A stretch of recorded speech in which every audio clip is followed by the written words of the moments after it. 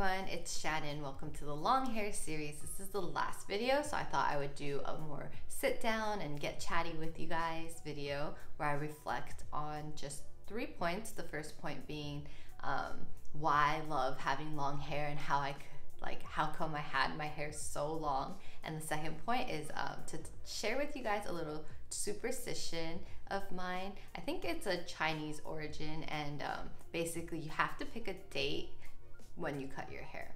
And then um, lastly, I just wanted to share a little bit more about like my thoughts and feeling about donating my hair. And so if this sounds interesting to you guys, keep watching.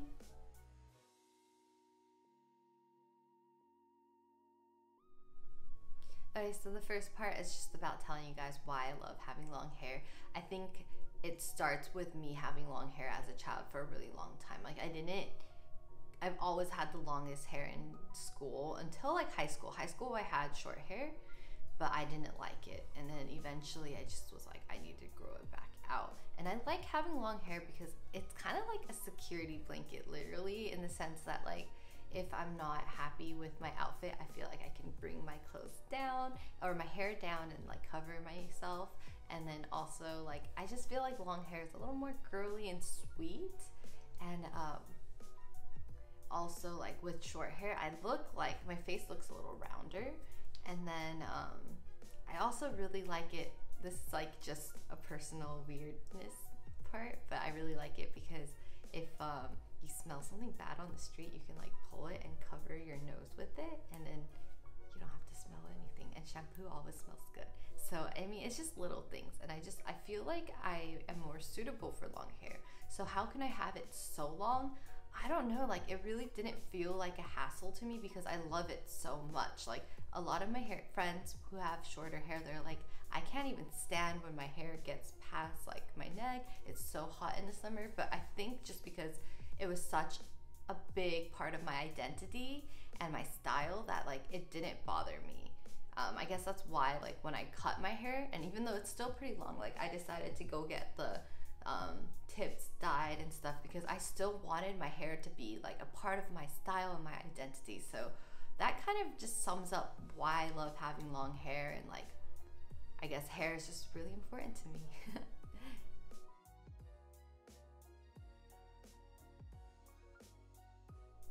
Okay, so this next part is a little bit more weird. So like if you're not very um, into superstitions, you might just think I'm crazy, which perhaps I am. But um, basically when I had long I started having long hair again like around college and like at that point I was still trimming it and at one point it just like I didn't have time to go get my hair done and it was so long that it was basically almost at my waist and my mom's friend was like you should cut your hair now because if it goes past your waist you have to 算日子 which means count the days and um, I was like, what? And she's like, yeah, like if it grows past your waist, it's bad luck to cut it unless you like pick a date. And I was like, really?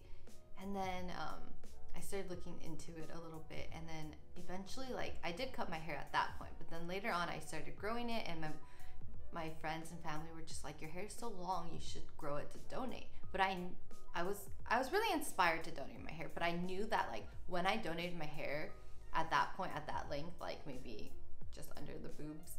Um, if I cut it, my hair would be shorter than I wanted. And so I was like, no, I need to grow it longer. And so at that point, it had to grow past my waist. So then I did, I did pick a date, and like I really firmly believe in it because when I was 12 years old, I had hair past my waist. I cut it without picking a date because I was American. I didn't know you have to pick a date, and um, I had the worst year ever and. And I did pick a date, and how you do that is you can just Google it. I'm not sure if it'll Google in English. So like in Chinese, I just typed up um, like 剪头发算日子, which is cutting hair, picking a date in Chinese, and then it pops up an article, and then you can print out the entire like year's calendar. Um, yeah, so basically, I picked a date. Um, none of the December dates worked for me, so I picked a date in November, and that's when I cut my hair and then um, I did the whole donating process, which will lead me to my next um, topic.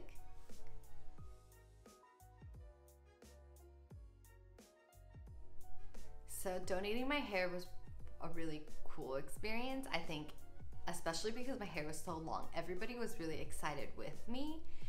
And even before going in, like I made the, I picked the date, I made my appointment at my friend's salon, but I got nervous. Like I was so nervous. Like I was like, why am I doing this? I don't want to cut my hair. This is my identity. And after cutting it, I was still kind of like, dude, my hair is gone. Like it's, and to donate, you tie it in a ponytail. If you guys didn't see my um, hair donate or hair cutting process, you guys should go watch it. But it comes in a ponytail, and I was just like holding it, like, oh my goodness. But then I thought, like, you know, like that didn't hurt me at all. I got to be with this hair for all this time. And now, like, this hair is going, that I love so much, is going to go to a child who needs it more than I do.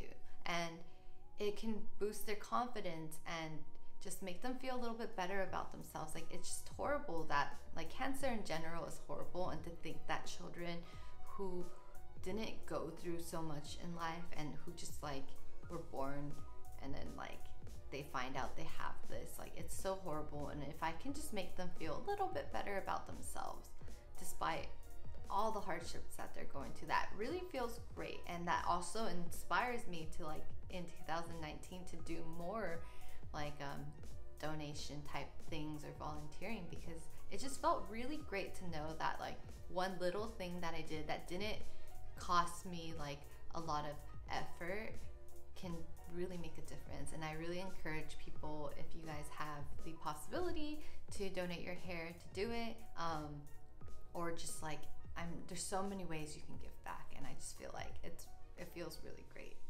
So I just wanted to be sure to touch up on that um, in this long hair series because the whole like inspiration for the long hair series was the fact that I was going to cut my hair to donate it. And so this is, I guess, just really important. So um, definitely go watch my donating video so you guys can see the whole process. Um, I would watch the cutting hair and the donating like both because they kind of go hand in hand. So yeah, um, hope you guys enjoyed this video and um, I'm looking forward to making more videos in 2019. Thanks for watching. Have a good day.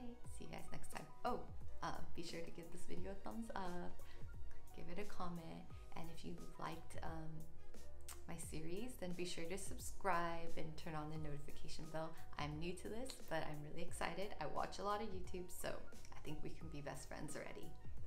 Talk to you guys soon. Bye.